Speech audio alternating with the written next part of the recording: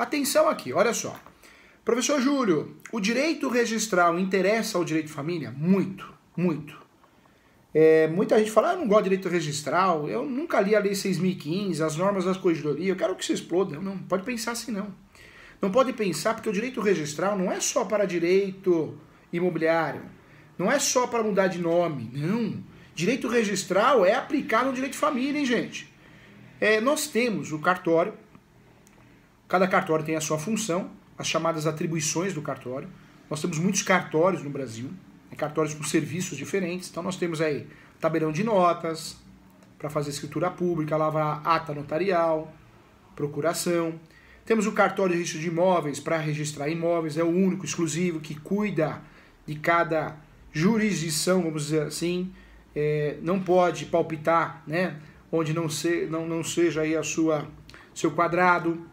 Temos o cartório civil, casamento, divórcio, emancipação. É, temos outros cartórios, inclusive cartórios que cuidam de outros tipos de registros. Então, nós temos várias atribuições a cartórios diferentes. O direito registral ganhou força no Brasil, é, deixou de ser de pai para filho, não, não existe mais isso, não mais é, transfere de pai para filho.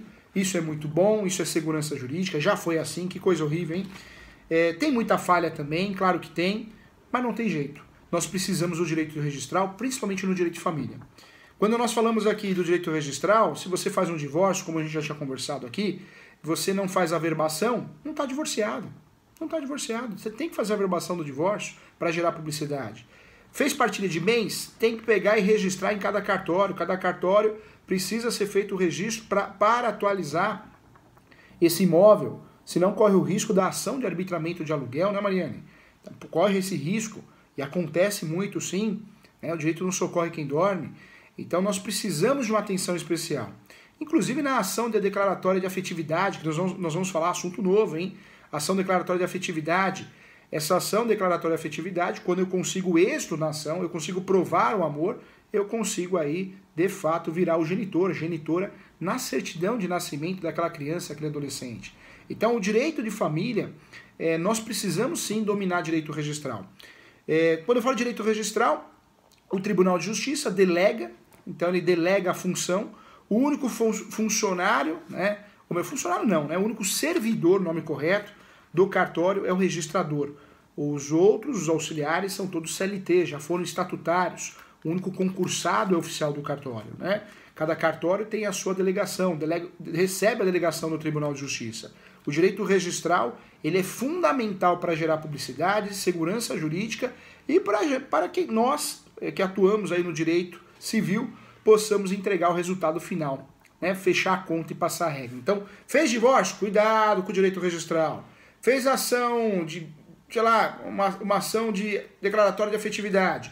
Acompanhe até o final o direito registral. Fez ação chamada uso capião de abandono de lar? Não é só ganhar essa ação, não. Pega a sentença, vai no cartório de registro de imóveis, registra, para que a sua cliente, ele ou ela, o abandonado, fique com 100% do valor do imóvel. Ou seja, o direito registral é o direito de resultado. Nós ganhamos no Poder Judiciário, mas devemos aplicar na prática.